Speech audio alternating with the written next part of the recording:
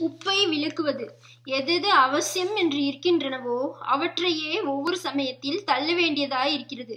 கிரகஸ்தன் பண்ணியே தீர வேண்டும் என்று இருக்கிற அத்தனை வைதீக கர்மாக்களையுமே ஒரு காலத்தில் தள்ளிவிட்டு சந்நியாசம் வாங்கி கொள்ள சொல்லியிருக்கிறது. ஜீவிப்பதற்கு அவசியமான ஆகாரத்தை மந்திரபூர்வமாக புஜிப்பதற்கு வழி சொன்ன சாஸ்திரங்களே ஆகாரத்தை தள்ளிவிட்டு உபவாசம் இருக்க வேண்டிய காலங்களையும் சொல்கிறது. முழுக்க ஆகாரத்தை தள்ளாவிட்டாலும் அதில் இன்னின்ன காலத்தில் இன்னின்ன பதார்த்தங்களை தள்ள வேண்டும் என்று அநேக விதிகளை சொல்லுகிறது. அதில் சில சொன்னேன். இதில் அளவணம் என்று ஒன்று.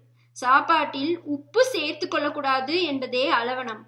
உப்பில்லா பண்டம் குப்பையிலே என்று ஒரு பக்கம் சொல்லிவிட்டு சில காலத்தில் உப்பு கூடாது என்றும் வைத்திருக்கிறது. உணர்ச்சி வேகத்துக்கு உப்பு காரணம்.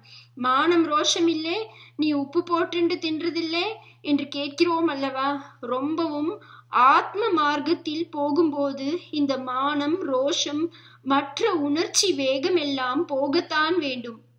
அதனால் சந்நியாசி முதலியவர்கள் அளவனமாக சாப்பிட வேண்டும்.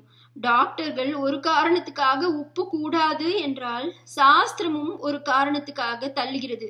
வருண ஜபம் முதலான வேத மந்திர ஜபங்களின் போது ஜபிக்கிறவர்கள் உப்பு சேர்த்து கொண்டால் நிச்சயமாக பலன் கிடைக்காமல் இருப்பதையும் அதுவே அவர்கள் அளவணமாய் இருந்தால் மழை பெய்கிறதையும் இந்த காலத்திலும் நிதர்சனமாக பார்க்கலாம்.